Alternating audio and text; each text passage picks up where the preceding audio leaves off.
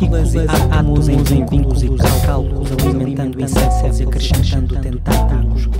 No mero exercício de um vício, na construção de muros para fugir ao obstáculo, para voltar ao início, rascunhos esquiços, sussurros e gritos seu o destino, arrisca se dar para torta, paga o risco, foge do registro, engole o medo, cospe o improviso.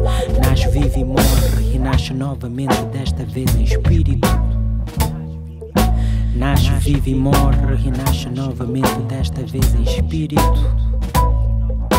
Nasce, vive e morre, e nasce novamente, desta vez em espírito.